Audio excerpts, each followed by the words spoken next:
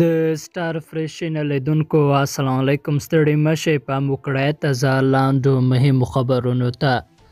خلک وای طالبانو کونړ کې پر وروالو ډزې کړي یو وژل شوی او دوه ژوبل دي طالبانو د کونړ ولایت په شګل ولسوالۍ کې پر واده ډازې کړي چې له کبله یو تن وژل شوی او دوه نور ژوبل دي د سیمې اوسیدونکي وایي طالبانو د دې لپاره په موټرو کې پر سپرو اوروالو ډزې وکړې چې له موټرو څخه د موسیقۍ غږ پورته کېده په اسد آباد کې د روغتون یوه ډاکټر ازادي راډیو ته وویل درې ټپیان ور انتقال شوي چې یوه یې ساه ورکړې ده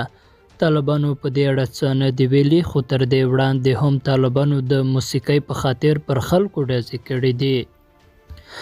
او طالبان وایي نور د عریضو، فیصلو او وثیقو په بدل کې له چا پیسې نه اخیستل کېږي.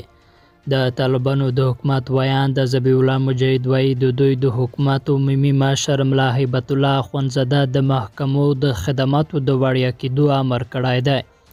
د مجاهد په وینا نور به د عریضو، فیصلو او وثیقو په بدل کې له چا پیسې نه اخیستل کېږي. د طالبانو له واک ته رسېدو وروسته یو شمېر خلک شکایت کوي چې پخواني قاضیان له دندو لرې شوي